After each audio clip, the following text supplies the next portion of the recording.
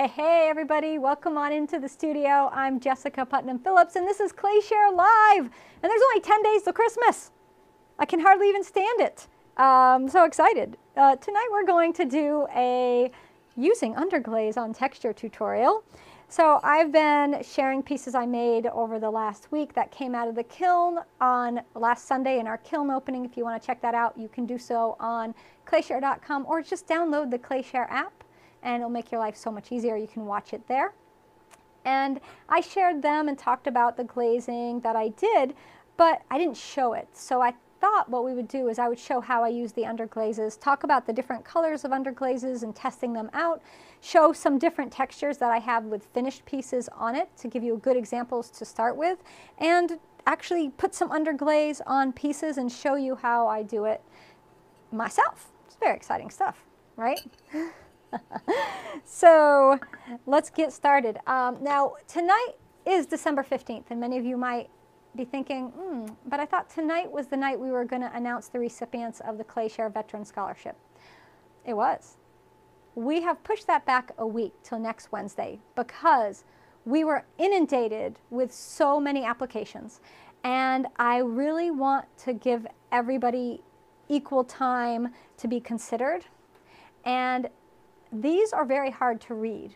You know, you read people's stories about you know what they went through and what they experienced. And as a veteran myself and kevin's also a veteran we know firsthand exactly what that experience is like. So for us when we're reading these it can bring back a lot of memories and it can be very difficult and emotional for the two of us to read. So it's not a dispassionate like um, cold thing for us to read these. We feel it deeply so it takes us a little longer than maybe if we just asked some random person to read them, and we would never do that because we really want to make these decisions with our heart and our soul. So we're going to announce those recipients next Wednesday, which is going to give us just uh, another week to go through them.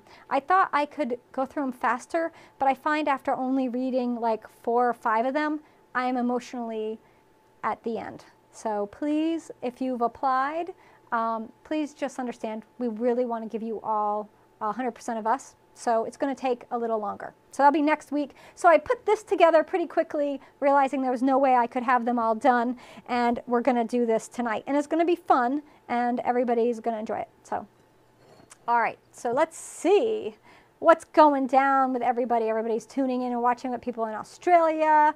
We got, oh, where are you? Screen is blurry, or is it just you? It might be you. Got folks from the Netherlands, London, Ontario's in the house, North Wales is here. So yeehaw, you guys. All right, so let's get started. What is underglaze? We'll start with the basics. Underglaze is exactly what you think it is. It's a product that's meant to go under glazes. So I use a couple different ones in my studio. Speedball is my go-to. I've been working with them for quite a few years. What I love about Speedball is they're affordable and they have really good color payoff for what you get in their containers. Now they recently changed their bottles. They used to have these tiny little tops that were just terrible to work with. Now we have these great big wide mouth jars which make it really easy to get our brushes in and out of them, which I do love. Now I use my underglazes watered down like watercolor. I rarely will actually brush the underglaze on full strength to just get a big solid bit of color. If I want that, I'm probably going to go for a glaze. But what I like about underglazes is you can brush them on texture and then wipe back, or you can use them, like I said, a watercolor wash, or you can use them on bisqueware as a watercolor and paint on the surface to give you a beautiful watercolor effect. And for me, you know, Speedball has been the one that I've used the most, like I mentioned, but Mayco has great ones, Amaco has some as well. So when you get your underglazes, which this is like a slip with color. So it's basically, think of it as a clay a white colored clay that they've added a colorant to. And this color doesn't flux, it doesn't melt, it doesn't run like a glaze. It's very stable. It's going to stay where you put it. So unlike a product like Stroke and Coat from Mayco or like a Celadon glaze, those might melt a little bit, but your underglaze isn't moving at all. Your underglaze is going to stay put where you put it, which is why I like it for doing detail work for color. Because I think if we go to the overhead, I can show you I did a different color in each one of these areas, and you know, it didn't move around. It didn't scooch away. It stayed where it was supposed to, just like I did on this plate here. so the stripes don't bleed into the next stripe. So it stays. Glazes can be a little tricky. Sometimes we want them melting, and that's not a bad thing, but sometimes you don't. So when I first get my, my underglaze, and Speedball's underglazes are non-toxic, they're food safe, they can go from cone 05 to cone 10, so they have a wide range. They can go on any clay body you want to use. So 05 to cone 10, any clay you want to use. And then I usually put clear glazes or celadon or slightly tinted glazes over them so you can still see the color underneath. I do advise zinc-free glazes. We talked about that last week a bit because zinc can sometimes eat away or alter the color of your underglaze. All right, so when you first get your underglazes, what you're going to want to do is make some sort of test piece. And that could be in the form of test tiles. You could do a whole bunch of little tiles, or you can make yourself a test plate. And that's usually what I do. And I do have tutorials on making this exact plate on Clayshare. It's just a scalloped rimmed plate. Um, this is like my go-to plate form right here. And you can see it from the back, so you can see the scallops on it. But I love this for so many reasons. It's great for doing the tests on. It's great for just making a lovely dinnerware set out of. So if you are just learning how to make plates or making pottery, making this and needing it to be a test plate is a good starting point because if you mess it up, it's just a test plate. So you don't have to worry about it being a fancy dinnerware piece. It can just be the test plate. And I have about six of these floating around the studio. So if you mess up a lot, just put them to the side and save them. So meaning by messed up, you get cracks, little micro cracks. Um, I don't have any on these, but sometimes you get cracks on the rim or maybe cracks on the feet. As long as the plate itself is intact and not broken, it's a great thing to use as a test piece. And then I divide each one of these little scalloped sections up into uh, an area for me to apply my underglaze and I apply one coat, two coat, three coats so I can see how opaque it is and how much color builds up. A lot of times the one coat is what I'm most interested in because I, like I mentioned, do watercolor. But it's nice to see how it will look at its thickest too. And also, I put a clear glaze on top of my test plate, whatever clear glaze I plan to use, so I can see how that clear glaze will react with my underglaze. So let me hold this up for the overhead you guys can see that there. So this was Speedball Underglazes fired to cone 5 with clear 2167. That's the clear I use in the studio. And so you can see it's a little dusty. Let me, let me clean it. It's, it's kind of part of this pottery studio, right? Things get dusty. Um, and so you can see how the color looks on here. Also what I love about this is it makes a color wheel. And I first saw these when I was in uh, Sèvres in France, just outside of Paris. I was at the Sèvres porcelain um, factory, and they had a bunch of these there, and I wanted to take them home, but sadly you cannot take them home. But it gave me the idea to make these for my own studio use as a plate. And I put a hanger on the back, so these can just hang on my wall. I don't have to worry about taking up a shelf, right? And then I have a visual, it just hangs. It's just gonna hang right here. And actually I do plan to put these on the wall. I just have not got there yet in my free time. But I'll probably put them up a little higher. but they're great for that. So this, having all my colors right here, I can pick, well, I want to do something in blues and greens. Okay, here's my blues to my greens right there. So I know I can pick colors and see how they look next to each other. And then maybe I want to pull in a yellow. Which yellow do I want to pull in? Right? And this happens to be Speedball's colors. This is Amaco's. I had so many Amaco colors that I did two plates. I did one with warm colors and the black and white are on there too because I want to see how they look. And I did one with cool colors. So I can see how Amaco's underglazes look. And these also were fired to cone 5 with the 2167 clear. And the clay is B-Mix. So it's the clay I normally use. If you use another clay, then I suggest you use a plate for that other clay. It just, it just makes sense, right? Don't use a clay, don't go get a clay just to make test plates out of that you're not going to make pots out of. Use the clay that you're going to make your pots out of. Not, don't buy porcelain clay and make your test plates out of porcelain and then use Laguna 60 to make all your pots. your test plates will be useless. You need to make them out of the clay you use in the studio. So now I have great references for color. All right, so this is all the leading up to how we pick color, right? And we have our little guides, so now I know exactly what I'm going to use for my colors. And then I look at my designs and I decide from that. I love, obviously, blues and greens. It's sort of apparent here. And that's why I go with them the most.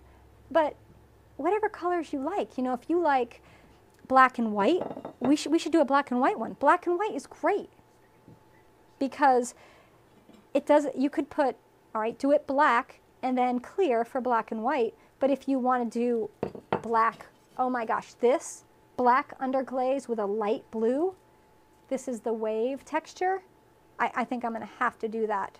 Or you could do a deep dark blue, right? And oftentimes when you buy, let me grab this. So when you buy your underglazes and you're looking at them in your bottles, let me just grab my royal blue. Hold on, let me grab that one. Here. Okay, so here's my royal blue. And why it's really important to do a test piece before you actually make something with it is this. Look at that blue. Whoa, that's a bright blue, right? And you're thinking, that's too bright. Well, here it is fired. So I just brushed it on so you can see the difference. This is wet, this is fired. So it's not this color. Fired, it goes a dark, dark cobalt blue. So if you wanted that bright color, you want to look somewhere else because that's not going to get it for you. Actually, medium blue, which I don't have on here, will give you this bright blue color. Speedball came out with 12 new colors last year, and so I have two color wheels of theirs. I didn't grab my other one, but okay. So what clear glaze did I use? That is my, it's clear 2167, and the recipe is up on clayShareResources.com. It's a very simple cone 5 zinc-free glaze, and it's um, one of my go-tos. So let me show you some finished pieces that I've done using underglaze for texture. This one just came out of the kiln. Here it is, just a piece of lace I pressed into the clay, made this really great bowl, and then I highlighted it using underglaze.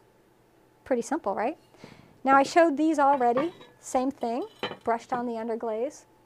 Very simple, white back.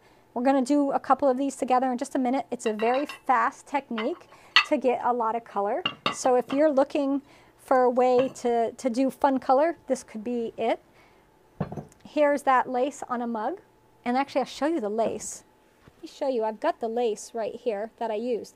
So this is the lace I used on this mug right here. You can see if we line it up, that's the lace. You press it in on your slab and then you roll up and you make your mug. This one I even, even got lace on my handle. Fancy, fancy. And then you highlight your texture. Now this lace is just some Battenberg lace. This lace here was sent to me by one of our ClayShare members. Um, Lori sent it to me. It belonged to her grandmother. And I'm so inspired by it. I've reached out to Lori and asked her permission if I could turn this into a rolling pin because it is probably the most sumptuous, beautiful lace I have ever had the pleasure of working with. It is just to die for. It's gorgeous. And that's what I pressed on these plates here. And then you can see it. Here it is. And we'll talk about those glazes in a second. Here's some more of it. I, I told you I got carried away. Look at this one. Isn't that lovely? It's just a piece of art. It really is. And I'm so thankful she sent it to me. Here's a big tray. I put this up today showing this tray, how I did it in a quick little tutorial. And then here's a really lovely sectioned tray right here.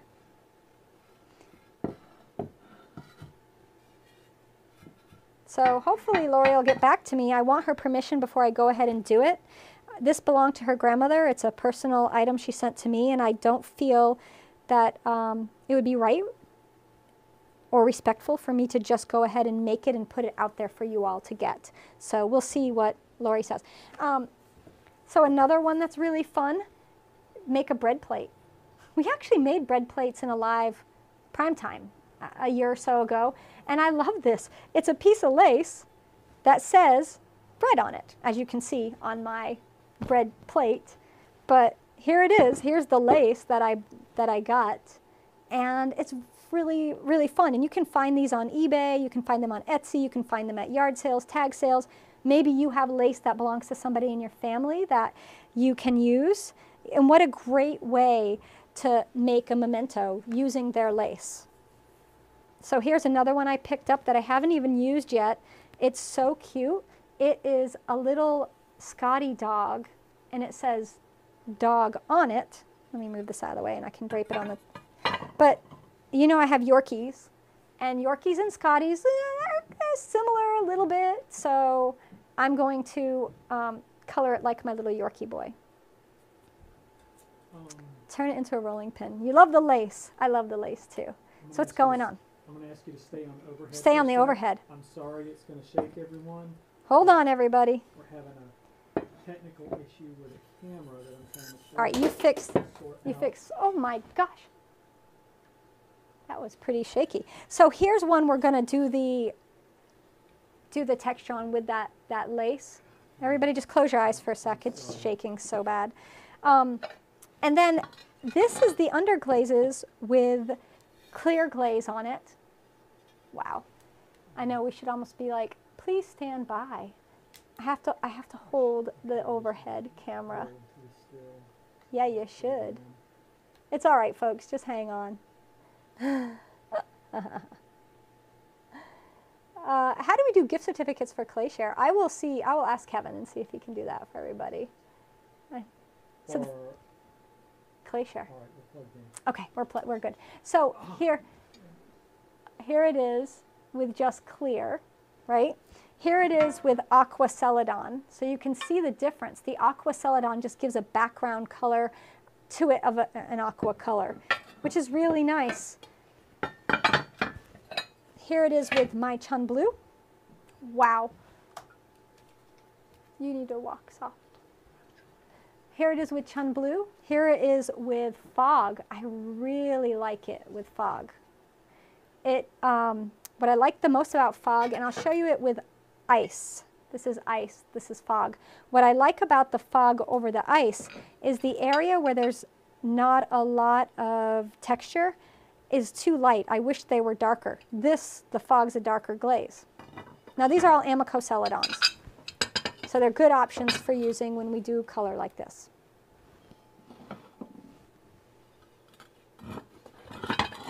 All right, we're to scooch this all out of the way. We got a lot of stuff. So let's get going and make some stuff. Let's start with one of these right here, one of those sectional trays. And I'll wait for Kevin to leave the camera before I go into the tutorial because I don't want it shaking while I do it. So we'll wait for him to be done and leave. Wait for him to go. So the colors that I'm going to use, we'll pick our colors, and that's what I do first. Think about what I like. We know what I like, blues and greens. So that would be aqua, teal, sea blue, turquoise. These are my, my three, four, well, these are my aqua, teal, sea blue are my three. And then I'll put in turquoise, and then I'll put in that medium blue if I want another blue to give me five colors. We're on one? Are we on? Okay. Yeah, okay, we're going to get this. So you had a Scotty named Wesley Leslie. So cute. My Yorkie's is Levi, but he doesn't have a, he doesn't have a middle name yet. I got to get him a, a middle name. All right, let's get our colors. So I'm to do aqua. Grab that out. And we'll do one in blues and greens, and I'll do one with a black because I know everybody loves black. And then we'll do some with warm tones so that we got three happening. Now teal, so I've got aqua and teal, and then I need my turquoise, which is down here, and my sea blue. And this is what I was talking about, the old style, the old style jars, and I don't think I have turquoise in the new jar, no. So the old jars had these teeny little tops, which are horrible to work with because you can't get brushes down in. Now, I usually just pour it out into another jar and thin it down, but dizzy. I know, Sharon, I'm so sorry for that. For some reason, one of our cameras has started acting up, and it's not an old camera. All right, so we're to put this down here. I'm to grab a few containers. These are just little disposable, um, Meow Mix containers. They're cat food containers, but um, you can save yogurt containers. You can work on those little pla plastic pallets, but they don't hold enough for me. I found that I need more material. I need more underglaze than will that will hold. And I'm going to make some space here. Normally my work area is not covered up in pots. Sometimes it happens. So we, I see some folks, you can't find the broadcast on Facebook. It is here, but um, hi everybody watching on YouTube. I'm glad you guys are there. YouTube can be one of the best ways to watch if you don't want to watch on the Clayshare app. You know, and while you're on YouTube, you can check out all my other YouTube videos that I've done. I was doing YouTube back in, oh my gosh, 2012. I've been doing YouTube for a while. But I have to say I'm not a YouTuber, YouTuber or a regular YouTube poster. I'm, I used to keep up with it more, but with running Clayshare, that's really got all my focus. So this is the sea blue. This is the turquoise. And you see how thin they are coming out of the bottle. That's because I've already thinned them down. Like I mentioned, I work mostly with my underglazes as watercolors. So I made the decision to thin them all down. But you might not want to do that. You might want to just thin down a tiny bit and then keep that in a separate container instead of thinning down your whole big container. Your cat's middle names are Cat, like Bella Cat Glickman. Ah, I love it. So it'd be Levi Dog Putnam Phillips. It'd be Levi Yorkie Putnam Phillips. Right now, he's the floof because he's a fluffy little thing. All right, so we've got three colors, and I am going to grab, not the royal blue. I am to put this away. That royal blue is great, but it's a really dark contrast to the other colors that I'm going to be using tonight. So I'm going to go with the medium blue, which is a brighter blue. And I can just show you on this plate. Are you on the overhead, hon? Okay, this is medium blue right here. So it's a nice bright blue. It's a really, it's a really pretty blue. And I do go to it a lot. He fixed the main camera. Yay! That's why we keep him around. All right, so set up your work area. Get your all, all your colors you're going to be working with. And then I buy these brushes. They're called Sumi, S-U-M-I. They're also called uh, bamboo handled brushes. Sometimes they're referred to as Japanese or Chinese calligraphy brushes. Um, and they're really great because they're not very expensive and they hold a lot of color, especially a lot of watered down color. So I like to get, I buy these in packs of 100. Don't judge. I just need a lot of brushes in my life. Um, so what I'll do is I'll get a brush for each color so I don't have to worry about not having a brush or cleaning a brush out in between. I don't want to do that. I want to just have one brush. And you know, you can make yourself a little brush rest to go next to them so that they uh, don't roll around. All right, so I'm just going to put a little water in some of these because I notice they're thick. And then we'll start. And honestly, it can be any color you want to start with.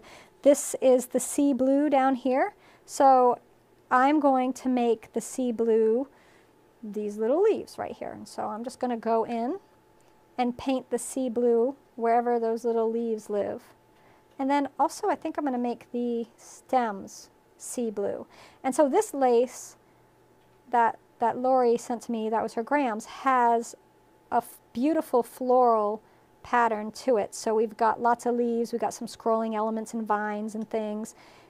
So there's, there's you can almost paint a picture with this. And so we'll start with this color. But you know, you could just blotch it on randomly. I promise it works. Like it's crazy, but it does, it works. We'll do one more over here. All right, so that's highlighting those parts. And if you miss something and you realize it later, you can easily go right back and fix it. And then this one was a turquoise, which is a, a lighter lighter color. So I'm just going to do a few things with the turquoise. Maybe the center of that there, the center of this one here. And then something down here just to have some around. And I might come back to more of that. And if you know um, you're going to reuse these cups a lot, which you probably would, write on the cup what color you plan to keep in them, and then you just grab them out when you're setting up to work. Just makes it much easier. All right, so this one is the teal, which is a stunning underglaze color. So I'm going to do that flower with teal. We're going to do one down here. So you want to make a color wheel of your Stroke and Coats. Can you fire what you have now and add and refire? Um, you can. You, you could do that. I don't think that would be a problem. Sure, you could make it and then just keep firing your Stroke and Coats. Um, but just remember, every time you fire a piece, it becomes more brittle. So it could potentially crack on you. I wouldn't do it more than two or three times. Just because I think you're risking cracking. I'm going to put some on the edges of these leaves here. And that's the great thing is I can put more than one color in an element. So like this leaf can have more than one color. I can do the edges in this teal, and then I could do the center in sea blue if I want to. Mm, what's that going to be? Mm, I'm not going to do teal on that one. Let's see. This. Okay, so we got some more colors. We've got the aqua, which is a lighter color. Let's put that in the center of this right here. This is why I buy a hundred of them. Did you see that? It just fell apart. It, it just broke. happens. It's not a big deal. Um, when you buy them a hundred at a time, they're not. They're actually very affordable. And most teaching supply companies and um, catalogs will have them, so you can pick them up there. I think I got mine at Dick Blick. Um, there's also Teacher Supply, usually carries them and stuff, so you can find them all over. So the aqua I'm dabbing in, and then you get to pick a color to be like your background color. Because you want something on the background. You don't want it to just be white right? You've got texture. You need to put something in there. And so I think I'm going to end up going with that blue. I want to put the turquoise in this right here, that flower there. All right, so all the flowers and stuff are covered, and now we're going to do the background. The teal is pretty. It really is. It's really pretty. And so we're going to do a blue background now. Don't worry if you overlap the color that touches it first is the color that the clay is going to absorb. So if I overlap another color, it really, it just doesn't, it doesn't usually get through. You'll see when we wipe it all off. So normally what I'll have is not just one piece going. I put a video out a few days ago showing me doing this process right here. And I'll have six or seven pieces ready to go and I just go down the line and I use one color and I do all the things I'm going to do with that color and then I go back with the next color and the next and the next and that just makes it go much faster and also creates a really nice series because you've got this grouping of pieces you made that all have similar colors even if they don't have similar textures. All right, so there we have it. Looks kind of cool like that, doesn't it? Just kind of a um, crazy splotchy thing. Here, I'm going to pull the Instagram folks down. There. So you guys can see right there. So then you let it dry, and then you wipe it off. And so you had a pinhole in a mug and refired it. Instead of melting it, dozens more appeared. You think it, you were light-handed with the brush-on glaze.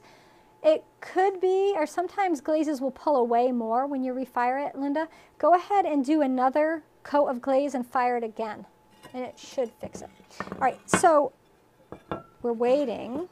Let's quickly do another and let's do it a, a, little different. We'll go in reverse order and we'll start with that blue that I just put on. Me put that one there. And we'll start with this blue and we'll do that first. So that'll be our first color. Put the blue on the leaves. And this all will change if you use different glazes, right? So a super bright, intense glaze color you know, will hide our beautiful underglaze colors. So what you're going to want to do is definitely work with things that are translucent and um, more light, that are lighter. Let's do a little bit of sea blue.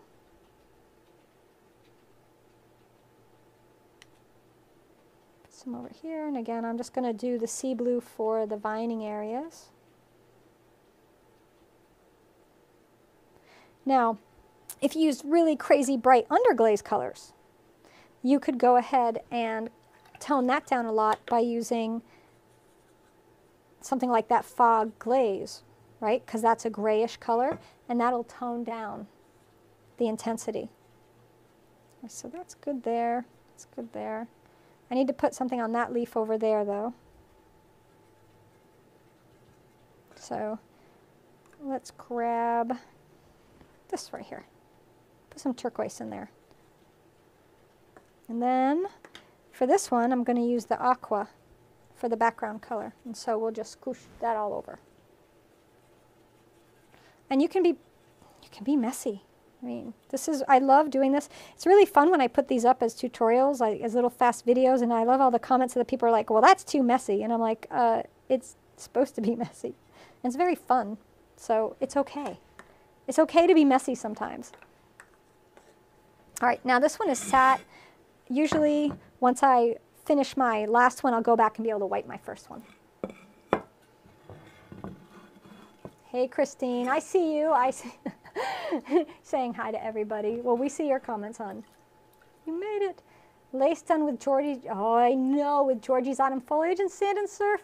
Mm-hmm. You know I want to do it with that too. So let's just start wiping back. I took my bucket of water that I've been using. It's, it's tinted now because I've been rinsing my brush off in it, but that's fine. You squeeze your sponge out really, really well. And I will tell you, this is going to tear through sponges, so please use inexpensive sponges because you don't want to like use your really nice fancy sponges for this. And then you just wipe back the underglaze. And you just keep turning your sponge and wiping. And sometimes you'll actually spread your underglaze around a bit, which is what we want because it just moves that color from one area to another.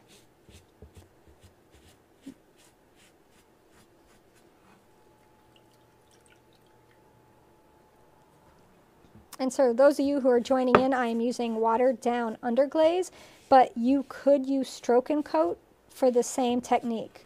You could even use glazes, but the thing is glazes are much more expensive than a bottle of underglaze. Like speedball underglazes are the best for the budget, I think, but even though I can buy other glazes, you know, when I started as a student, I was very budget conscious, as we all often have to be and really should be. And I went with Speedball. I was using some Amaco, but for the price I was paying for Amaco, I could get two jars of Speedball. That's a no-brainer, right? So then I started using Speedball, and then I got to meet the folks at Speedball, and they became a sponsor and sponsored me before I had Clayshare when I was just, you know, with in my own artwork. And when I would do workshops, they would send cases of underglazes to my workshops so the folks could use them. And then when I left the workshop, when it was over, I would leave the case of underglazes there for that clay center to use in their program. So it would benefit the students in my workshop, but also it would benefit that clay center after I was gone. And I did that, and I, when I use speed Speedball underglazes, I still try to do that and so Speedball has been great. I've toured their factory in North Carolina. I've met all the folks there. They're really wonderful, and they're just really great people. And I see there's a question on YouTube about what kind of water I'm using. This is just my regular old tap water. Could you use distilled if you wanted to? Sure. Do you need to? I don't think so. I don't think it makes a difference. So do you have to have the underglaze completely dry before you start wiping back? Well, no, but if it's not dried and absorbed into the piece, if you start wiping back too quickly, it'll be really easy to wipe away a lot of your color. And so then you'll be really dissatisfied because you'll get out you'll get pieces out of the kiln that are very bland, right? So I like to wait until it's dry. You don't have to if you're in a time crunch, but it'll give you better results. So look right here. I don't know if you can see we've got two different blues and greens coming together and that's going to be so pretty when it's finished. Use Amaco mixing clear Celadon on top of underglazes. I do too. They, it, I've used it before. It works fine. Speedball has their own clear, which I, I like a lot. It's a really great clear glaze. And the thing is, these can go cone 05 to cone 10. So Speedball has a low fire clear. They also have a stoneware temperature clear. So depending on what temperature you're firing to. They don't have a cone 10 clear though.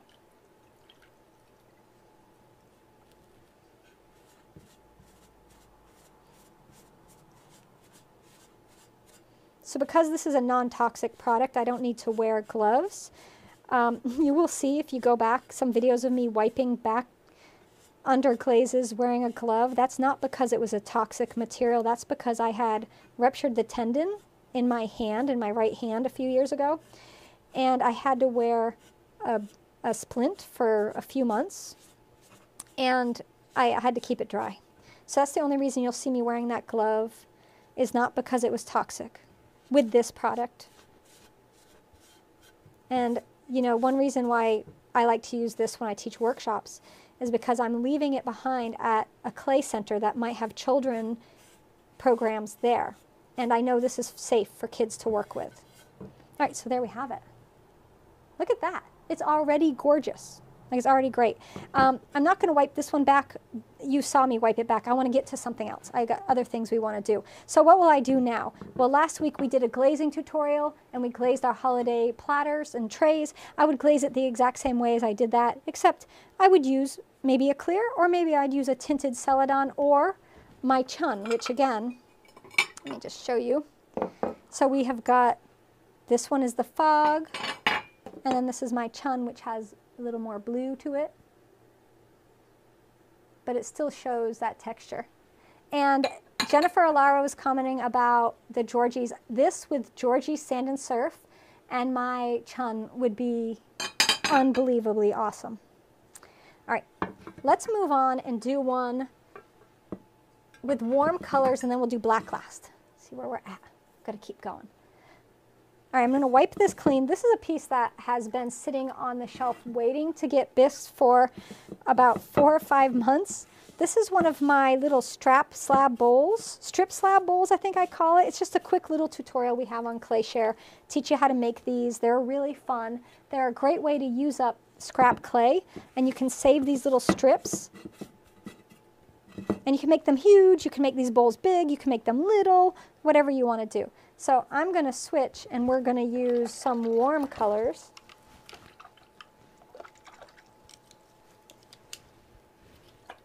So I'm just rinsing my brushes off. I'm going to squeeze them out. Let me set these colors to the side.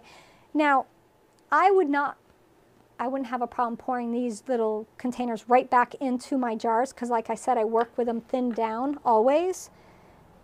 But if you don't want to work with yours thinned down all the time, which you might not, you know, unless, if you don't know exactly how you're going to use your underglazes, you might not want to do that. So get some little containers that have lids or something, and then you could keep them in that. All right, so what do we got? We got peach, we got melon, which are some of my absolute faves. The orange, the mandarin orange is crazy good. Carmine is great. Um, so all these, they have a lot of warm colors in the speedball line. So I'm going to go with peach. I'm going to go with mandarin orange, definitely. They have, let's see, we got regular yellow. I'm grabbing melon and the yellow. So one, two, three, four, five, six, seven strips. I think we should only do three colors. Three, three. Then we could be one, two, three. So these would be the same and that would be the same, which that will be leave the yellow off. Yeah, that works. That works for me at least. So I'm to grab some more little cups and we'll do the same thing again. Carmine with cherry blossom over celadon. Oh, cherry blossom celadon with carmine, huh? Well, I happen to have carmine, Jennifer. Let's do that. Carmine. So if I'm going to go with carmine, I might go with uh, pink. And then maybe, maybe melon too? Or peach? Ooh, tough choice, right? How about carmine, mandarin, orange, and peach? We'll do those. We'll do those. And I'll put my other ones back. Okay. Always listening to what you all want and uh, taking into account your suggestions. So this one, look at how thick that is. That, that is too, that's too thick. so we're definitely going to be adding a bunch of water to that. And that can happen very, very easily. They just, they just dry out. Um, as I mentioned, I don't use the warm colors hardly at all because I like the cool ones. So you'll notice the warm colors are not as thinned down because I'm not using them. Except the peach, apparently. That's a little thinner. I like that one a lot. Okay. Um, the water I'm adding to it is just uh, a bottled water because this is the uh, clean, uncontaminated water I have in my studio. I don't have running water in my studio, so I just grab a bottle. And I'll just fill these up from my refrigerator in the house. So there's peach. If you add too much water, just add a little more underglaze to it. And then we'll put a little in the carmine.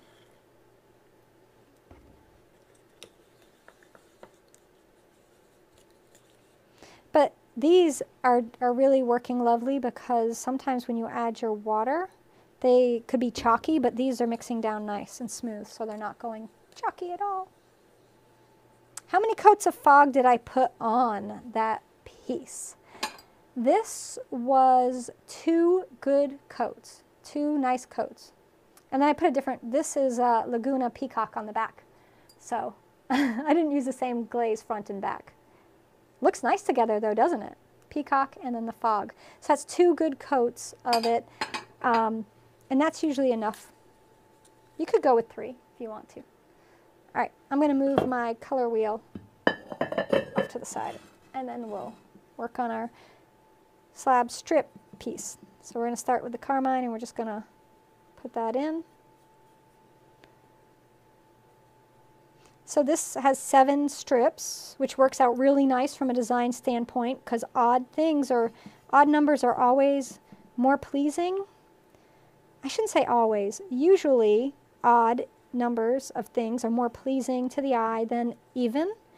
But, you know, rules are meant to be broken, so sometimes you'll make something and it's got even number of things and it's, you know, really, really nice. So it just absolutely depends on what you got going. Should I not add well water to my glazes? Um, so my, when I make glazes in my studio, I use water from my tap. Yes. Which is well water. Yeah, because people who are in city water don't tap water. Oh yeah, I have well water. Um, I've always had well water. Uh, so I know city water adds things. So you might that might could that might affect how your glazes turn out, right? But when I was in school, they used city water when we made we made glazes at the university, and when I taught at the university, um, you know, anything we made, we used tap water. So I'm thinking this peach is going to be too light. We'll try it, but it might be too light of a combo. But what really pulls these together is going to be the glaze I put on top. That's the thing that's going to make all the difference. All right, we've got this on. It's got to sit just a few minutes. So let's let this be, and let's do that black, because I know we want to see the black, right? I want to see the black. Let me grab my jar of black.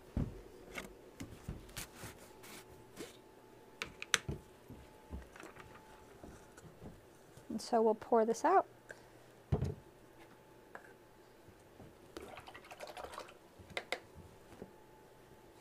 See how thick the black is. Ooh, it's, it's chunky. it's like my cat, it's chunky.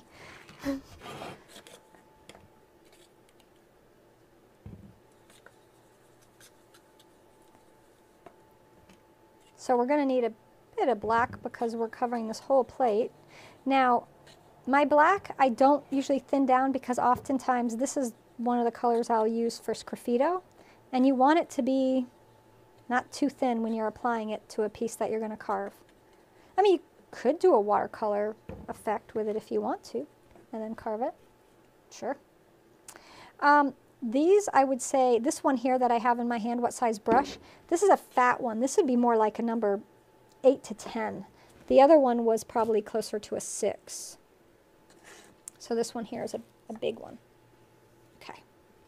Now, we can put the plate on. Let's see how thick this is. So if you're brushing it on your texture and it's not going in the texture, you're like having to force it down in the texture, then your underglaze is too thick. Let's go ahead and add a little water. Thin it down a little bit.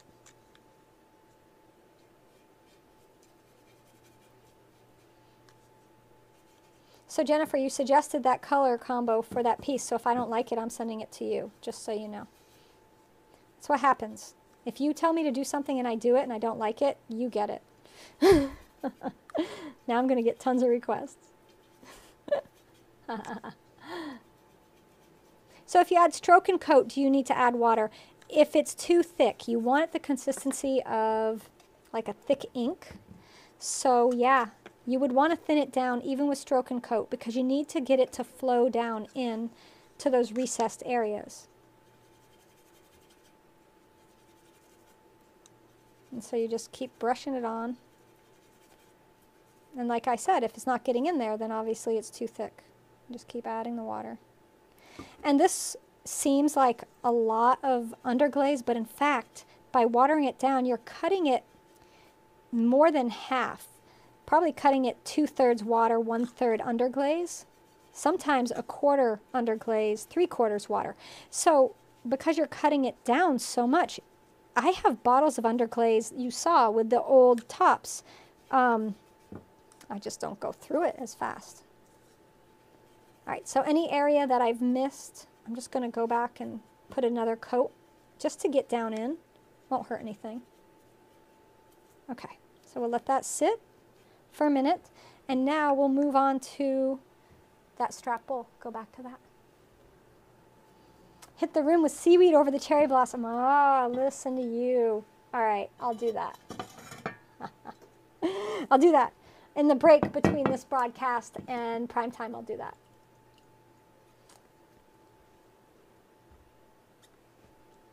So let's go ahead, we squeeze this out just like we did before. And let's go ahead and wipe back and I'm just going to start in the middle.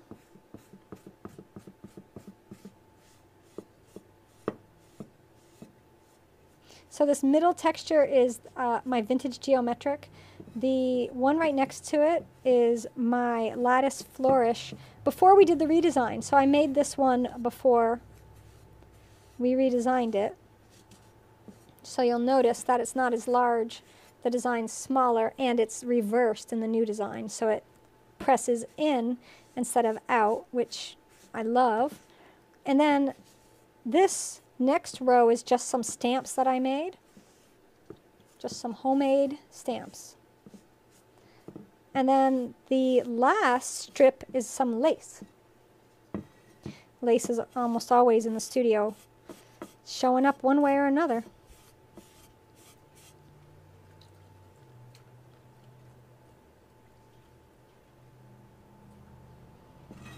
So now I'm going to go back and just, you can choose to do two things, one of two things. You can apply more thicker layers of underglaze to the rims, or like Jennifer suggested, use seaweed on the rim, use a glaze on the rim. So since that's what I'm going to do, I'm going to scrub my rim clean. Because I'll glaze this and uh, it'll go on my next glaze firing. Which I wasn't going to have another one before Christmas, but I just realized I have Christmas presents that have to be finished. So many of you are in the same boat as me. We've got 10 days till Christmas, and we're trying to dry mugs faster than we should. Um, fairy houses, trying to dry those fast. I've got plates, trying to dry those. I've got some pendants that I made for my daughters, and I'm trying to get those to dry. So we're, we're like down to the wire. I always say every year I'm going to start my Christmas gift making um, like in September. No, that doesn't happen. Please raise your hand if you actually make the Christmas gifts and have them all done in September and don't have to make anything else for the rest of the season. You're like completely finished. I don't know if I'm seeing any hands. all right, so that's wiped back with the warm colors. You'll have to wait to see what it looks like when it's glazed. So now it does look like a sunset sky. I think it's going to be beautiful. And we have a streakiness here. That's a personal uh, preference situation. So you can go in and you can really clean it out, right? If I do one side, I'm going to balance it out by doing the other. And really scrub the color off that area, right? There's still some hiding in the recesses on the edges. So it's not gone, gone, but you choose how much you remove. Sometimes I'll leave a little more in there. Sometimes I'll take a little more away. It, it just, it really just depends on how I'm feeling. But there's no, you can't go wrong, really. Okay, that one we're going to let be, and now we're going to move to the black. I, yeah, I didn't see anybody say they were done. Um, many of us are, are trying to finish up. All right, for this, I'm just going to start in the middle and work my way out with the black. Christmas should be our projects for the month of September 2022. Maybe we will. Um, when I say my chun, what exactly does that mean? So I developed about 20 years ago, ago a chun glaze that was based on an ancient Sung Dynasty Chinese glaze that was also a chun glaze. And so through years of testing and development and refining and retesting, I came up with a chun blue glaze, which is a glaze that I used in my studio for many years. And then I think three years ago now, two years ago, I can't, I can't remember, um, Clayscapes Pottery and I started working together to bring that to the world. So you can buy my Chun Blue glaze from Clayscapes Pottery. And you can buy it as a brushable formula or as a dip and pour formula. So that's why I say my Chun Blue glaze. It's a cone 5-6 glaze. It is food safe and it's perfectly fine to go in dishwashers and microwaves and all those things. But yeah, so I say my chun. I have six other glazes, six total glazes with Clayscapes right now, I should say. And I have two coming out in February. So there'll be two new glazes coming out in just a few months of mine. So I'll have a total of eight glazes that you can get that I've used for decades in my own studio. So they've been tested thoroughly. All right, so we're just going to keep wiping away. And look at that. If you look at the difference. Here we have just the solid color. That's fine. But look at this here. Look at how much the texture pops. You, know, you can see those waves. And this pattern that I did is based on two things. We have a traditional textile pattern from Japan that was used in kimonos. That's this right here. And then the other is based on the Great Wave, which many of you are familiar with is a beautiful woodblock print. So we'll just turn it around. And so this has a very um, Japanese feel to it because it is based on Japanese designs. That's, that's where I got these from when I drew them. So I went with a square form, which is often found in Japanese pottery, and I'm going to do a black and maybe white or a black and maybe blue. We'll see. I haven't decided yet. Kind of want some color on it. I might do black and fog. What do you guys think of that? The fog would be that beautiful dark gray with black. So it would be subtle, but very beautiful. So if you guys have suggestions what you think I should glaze it, share them with me. and uh, you'll see when I take out of the kiln. The last of the Christmas gifts are cooling right now. Oh, Brenda, you're ahead of me. I've got um, my mug and gnome person, by the way. Yeah, your pieces aren't done. They're, uh, I know it's the 15th, and I'll be sending anonymous messages to you because I don't want you to know. But your mug has been made for two weeks. It's just not dry. And my little Nomi is ready to go in the bisque, but I just got to get everything else together. So be patient. I promise it'll be worth the wait. All right, so now I'm just going to scrub the edge. And I think that's good. That's good right there.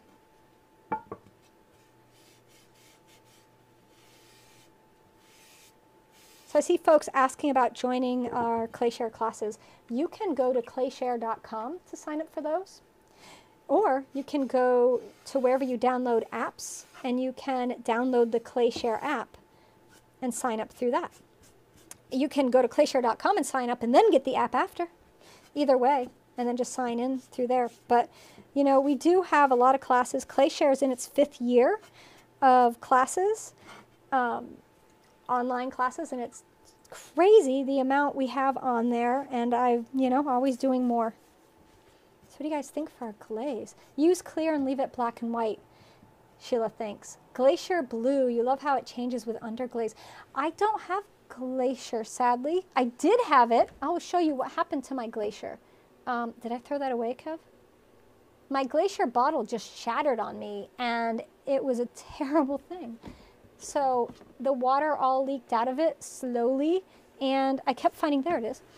Um, I kept finding water on my floor, and I couldn't figure out what happened. Look at this. Can you all see what's happened there? See that? It's just completely punctured. So the glaze that's inside it is not just, I could put it in a different jar. I think I can reclaim it.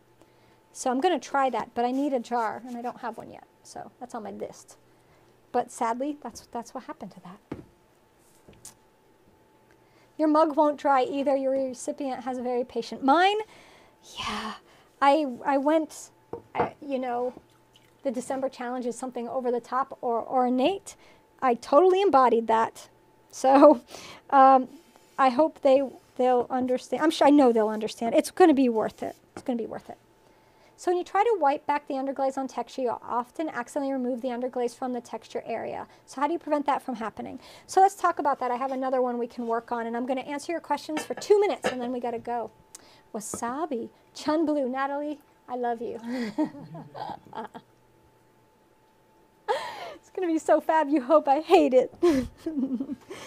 so when we're wiping back, we have a clean sponge, and we're going to take it, and we're going to press down and wipe back and as I wipe back, I turn to a clean area, but then I move. And so I'm really skimming it. I don't know if, if you can see it this way. Skimming it more, not scrub, scrub, scrub, scrub, scrub. Does that make sense? You can just brush along the top and I've squeezed my sponge out quite a lot. You're not trying to put a lot of moisture back onto this piece because if we put a lot of water on, it's going to soften up the underglaze, it's going to release from the clay, and then you're going to lose your color, right? Because you're, you're going to wipe it off. And so you just keep kind of turning and pulling and wiping it back. Does that help? So to be safe, elaborate on my history and connection with Japanese pottery. We wouldn't want new people thinking I was appropriating Japanese culture. Absolutely not, no. So when I studied in college, my professor learned from a Japanese master. So that's where she studied pottery. So a lot of my traditions and techniques that I was taught, and I actually took classes with her master as well. I studied with him. He came to school and taught us um, whenever, you know, if she had to take a vacation day or something, we were really, really lucky because he would come and would teach us. And so I am very, very lucky to have learned in North Carolina because I not only have the North Carolinian folk tradition of pottery as my background, I also have a very strong background in Japanese ceramics because of who I learned from.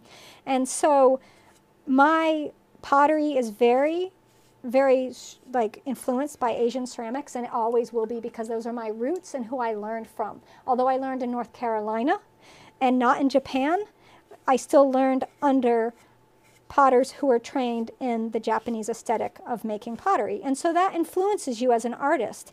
And it's a part of who we are. You know, he came here to America and studied here and you know, she learned from him and then she taught me and other students as well. And so as time goes on, his traditions were passed down to her, were passed down to me, and I passed them to you. And so they live and carry on and they get changed and altered through use and through people's interpretation. But yeah, cultural appropriation is an issue and we do have to be aware and conscious of it and careful about it. Uh, but that doesn't mean as an American, I'm limited to only using pottery traditions that were born here in America because many things came from other cultures and other countries. That's how art is.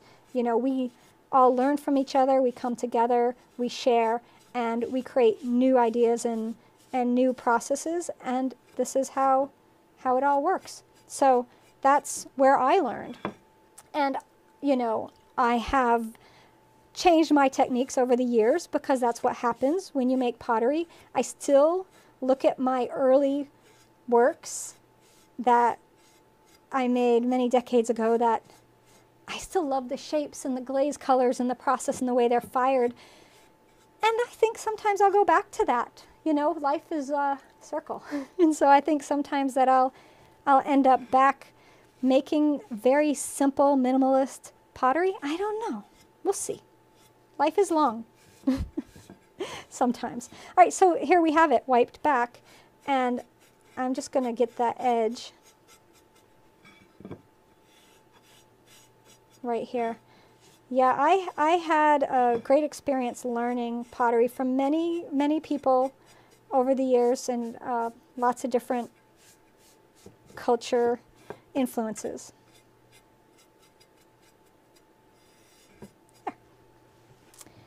All right, suggestions or normal. Your alumina hydrate sticking to the bottom of pots really shows your on your obsidian pieces. Doesn't sand off. So that's not really normal, Amy. It sounds like it's somehow bonding. So what I would do is take your alumina hydrate and I would mix it in some wax. A tablespoon of alumina hydrate to a pint of wax. If you don't want to do a full pint, you know, cut that ratio down and make a little container of it. Try that on the bottom of your pots and see if that helps. That might prevent it from sticking. Your mug, anything else. So Song Dynasty was the height of civilization at the time. Their pottery, the pottery of sophistication, you are so right, Jerry.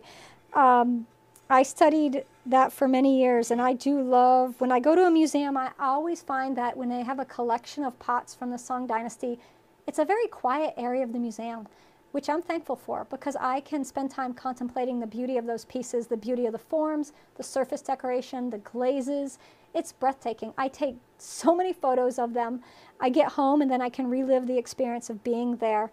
Uh, just, you know, it's really lovely to actually see those pieces in person. Actually, Christie's was doing an auction recently of Japanese and Chinese ceramics, and they had pieces from the Song Dynasty in the auction.